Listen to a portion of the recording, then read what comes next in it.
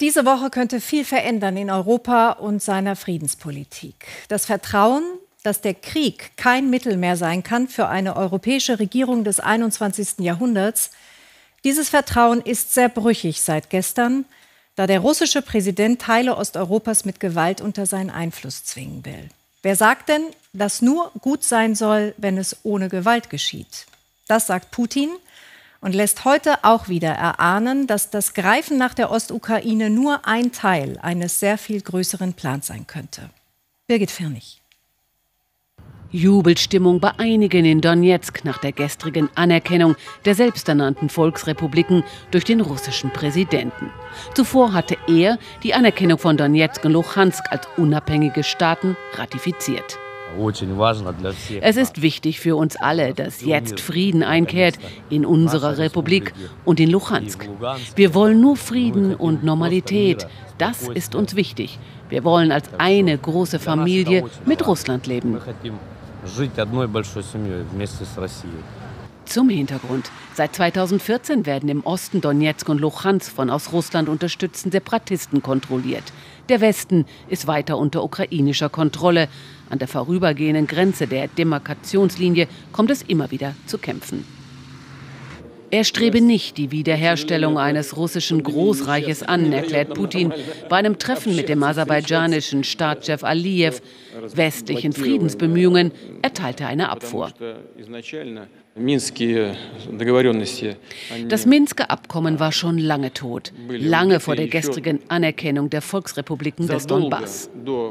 Und das geht weder auf unser Konto noch auf das der Vertreter dieser Republiken, sondern auf das Konto der Machthaber in Kiew. Dort mahnt der ukrainische Präsident zur Ruhe, setzt auf Sanktionen und erwägt, die diplomatischen Beziehungen zu Russland abzubrechen. Ukrainci. Wir Ukrainer sind eine friedliebende Nation. Wir wollen eigentlich Ruhe. Aber wenn wir jetzt still bleiben, dann werden wir untergehen. Schwierige Aufgaben liegen vor uns. Valery Charlie hat als ukrainischer Diplomat den russischen Präsidenten immer wieder persönlich getroffen. Er ist überzeugt, dass es für Putin keine roten Linien gibt. Jetzt müsse man Russland Grenzen aufzeigen. Putin Putin lebt in einer Parallelwelt. In dieser Parallelwelt existiert die Ukraine nicht. Und in dieser Welt ignoriert er einfach die Interessen der Europäer. Frankreich, Deutschland hält er für schwach. Er sieht nur die USA und China. Uh, he described that like a weak position. He also only recognized uh, United States and China. Und so liegt das Schicksal der Ukraine heute vielleicht mehr denn je nicht in ihren eigenen Händen. Und in Moskau fällt der russische Föderationsrat am Abend noch diese Entscheidung. Die 153 Mitglieder stimmen in einer Sondersitzung für den Einsatz russischer Truppen im Ausland, also auch in der Ostukraine. Fragen wir nach bei Demian von Osten in Moskau. Demian, es gibt unterschiedliche Meldungen darüber, ob und wie viele russische Truppen bereits in der Ostukraine sind. Was sind Ihre Informationen? Ja, es gibt einen Vertreter einer dieser beiden Volksrepubliken, der davon gesprochen hat, dass russische Soldaten bereits auf ihren Positionen im Westen und im Süden des Landes seien. Das wurde dann aus Moskau wieder dementiert. Es könnte damit zusammenhängen, dass ja schon sehr lange russische Truppen sich in diesen Volksrepubliken aufhalten, allerdings verdeckt. Russland hat immer wieder gesagt, das sei nicht so, aber es gibt erdrückende Hinweise, dass das nicht stimmt und damit könnte es zusammenhängen. Üblicherweise, wenn Russland dann so einen Militäreinsatz macht, fährt das Staatsfernsehen mit und man zeigt das groß. Deswegen vermute ich, dass dieser Moment noch bevorsteht. War diese Anerkennung jetzt das Ziel, auf das Putin hingearbeitet hat? Also ich habe nicht den Eindruck, dass das das Ziel ist, wenn man sich anschaut, was Putin sagt gestern in der Rede abends in seinen langen historischen Ausführungen zur Ukraine, auch heute wieder. Dann sagt er, dass die Ukraine durch die derzeitige Regierung eine Bedrohung für Russland sei, dass man die Ukraine entwaffnen müsse. Und das klingt doch danach, dass es ihm gar nicht so sehr um den Donbass, die Gebiete im Osten geht, sondern um die Regierung in der Ukraine. Und äh, das lässt nichts Gutes hoffen für die nächsten Schritte, die erfolgen. Hinzu kommt, dass äh, ähm, Panzerkolonnen gesichtet werden, die sich bewegen auf der russischen Seite an der ukrainischen Grenze, aber relativ weit von diesen Separatistengebieten entfernt. Da stellt man sich die Frage, was könnten stattdessen Ziele sein eines äh, möglichen russischen Einmarsches? Jetzt hören wir in diesen Minuten, Demian, dass auch der ukrainische Präsident Zelensky eine Teilmobilmachung anordnet. Was wissen Sie dazu?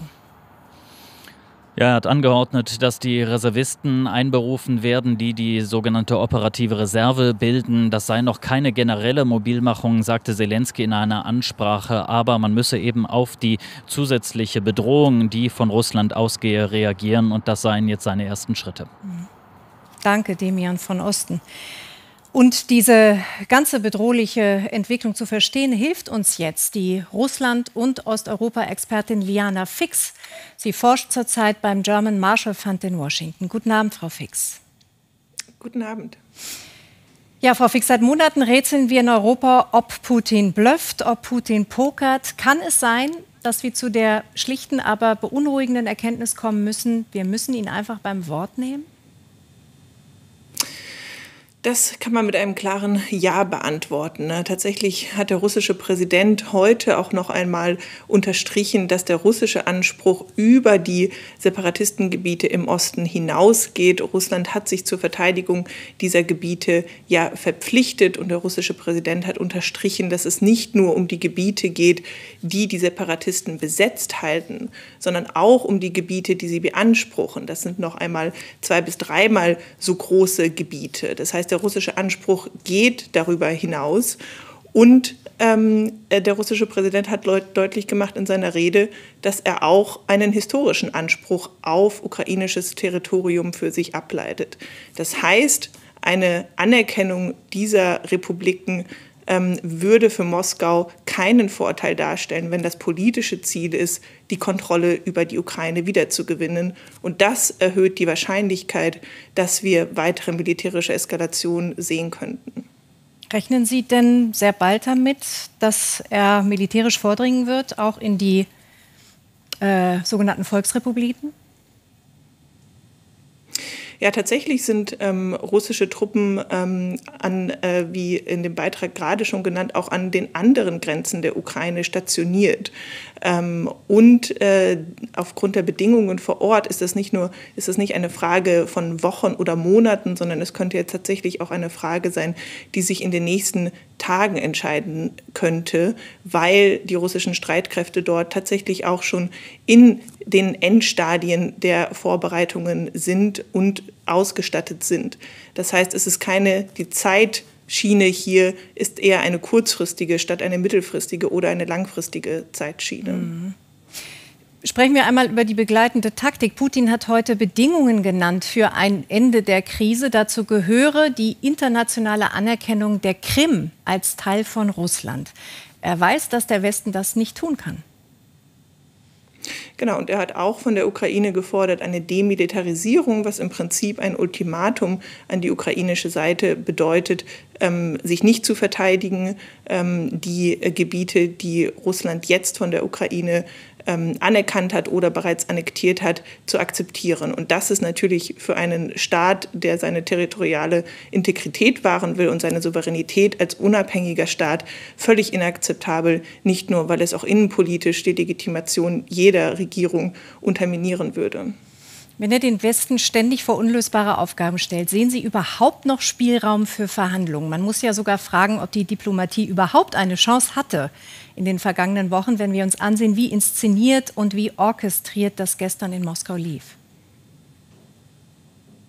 Ja, das ist eine sehr beunruhigende Komponente, dass gestern in der Rede des Präsidenten in den Diskussionen mit dem Nationalen Sicherheitsrat klar geworden ist, dass das geplante Schritte sind, was natürlich westlicher Diplomatie nur wenig Spielraum einräumt. Trotzdem ist es wichtig, diese Diplomatie weiterzuführen.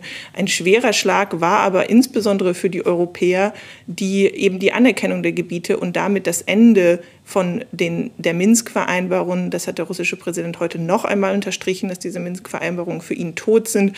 Denn das war das Herzstück europäischer Diplomatie. Und zu einem gewissen Grad ist das ähm, nicht nur äh, äh, gegen die USA gerichtet, sondern es ist auch ein Signal an Europa, dass hier momentan auf diplomatische ähm, Bemühungen mit den Europäern kein Wert mehr gelegt wird. Mhm. Das heißt, die Europäer spielen jetzt überhaupt keine Rolle mehr.